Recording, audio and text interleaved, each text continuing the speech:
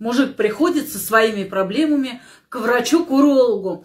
Ну, уролог так говорит, снимайте штаны, сейчас посмотрим. Мужик так снял штаны. Уролог так смотрит, смотрит, ничего понять не может. Берет йод и мажет одно яйцо ему.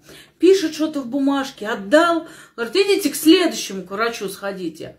Ну, опять мужик приходит к другому к урологу. Тот говорит, снимайте штаны, сейчас посмотрим. Мужик так снимает штаны.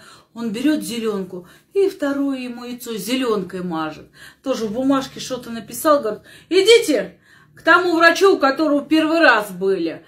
Мужик выходит из кабинета, думает, блин, один молчит, второй молчит. Думаю, дай посмотрю, что они мне в бумажке пишут. Открывает так, читает, а там написано «Христос воскрес, Иван Петрович! Воистину воскрес, Василий Иванович!»